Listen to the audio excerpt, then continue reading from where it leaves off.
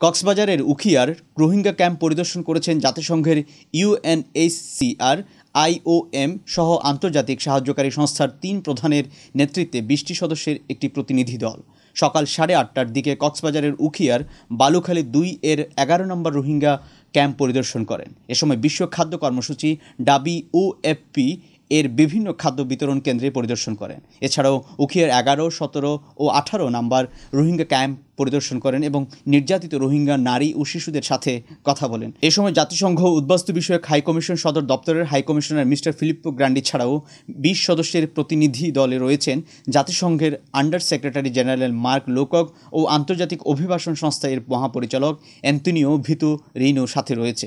এর আগে বৃহস্পতিবার বিকেল তিনটার দিকে ঢাকা থেকে কক্সবাজার বিমানবন্দরে পৌঁছান এবং বিকালে জেলা প্রশাসন ও ত্রাণ ও রোহিঙ্গা শরণার্থী কমিশনারের সাথে পৃথক বৈঠক করেন। বিশ সদস্যের প্রতিনিধি দল। চট্টগ্রামের প্রাণকেন্দ্র মুরাদপুরে পঁচিশ কাঠা জমির উপর নির্মিত হচ্ছে আন্তর্জাতিক মানের সর্ববৃহৎ বাণিজ্যিক ও আবাসিক ভবন। দৃষ্টিনন্দন সতেরো তলা বিশিষ্ট ভবনের প্রথম তলায় সুপার শপ, দ্বিতীয় থেকে পঞ্চম তলার বাণিজ্যিক ভবনে রয়েছে রেডিমেড গার্মেন্টস, থান কাপড়, জুতা, cosmetics, jewellery, electronics, kids zone, game zone ও ফুড কোর্ট।